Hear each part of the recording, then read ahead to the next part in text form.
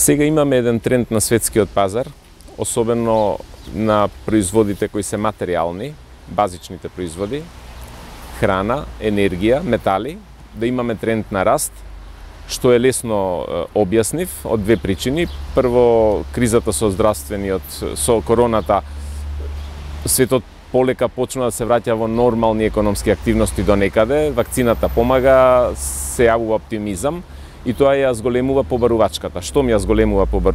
штом се зголемува побарувачката, цените во принцип одат нагоре. Но мора да сме многу внимателни. Сега ова не е зголемување на цените некое екстра на светскиот пазар, туку е само враќање на цените од пред короната, од 2019. Ако ги споредиме горе-доле цените пред и после короната, сега доаѓаат на исто. И не само цените на производите, туку и акциите, берзите, сите финански се враќаат на пред корона периодот и тоа е нормално.